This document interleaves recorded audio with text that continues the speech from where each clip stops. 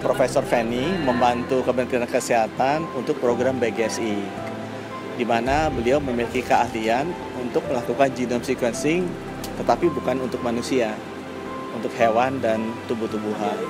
Nah, keahlian itu kita manfaatkan agar bisa mempercepat penggunaan bio, genome sequencing untuk bisa kita lakukan terhadap manusia. Dan hasilnya kita bisa lihat bahwa SITH ITB ini memiliki keahlian yang tinggi untuk melakukan genome sequencing berdasarkan alat yang mereka sudah miliki. Kita menyumbang ke SITH ITB dan sekarang sudah dipakai untuk membantu Kementerian Kesehatan. Khususnya nanti akan belajar di sini untuk melakukan genome sequencing adalah dari Rumah Sakit POR untuk mempelajari mengenai farmakogenomics. Jadi kalau pemberian obat-obat itu harus disesuaikan dengan genetics dari pasien Pasien A belum tentu cocok dengan obat B, sedangkan pasien B mungkin cocok dengan obat B.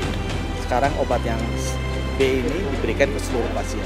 Tapi dengan kita bisa mempelajari respons dari obat ini untuk genetik yang berbeda-beda, kita bisa memberikan obat yang lebih Nah itulah dunia kedokteran masa depan yang namanya precision medicine.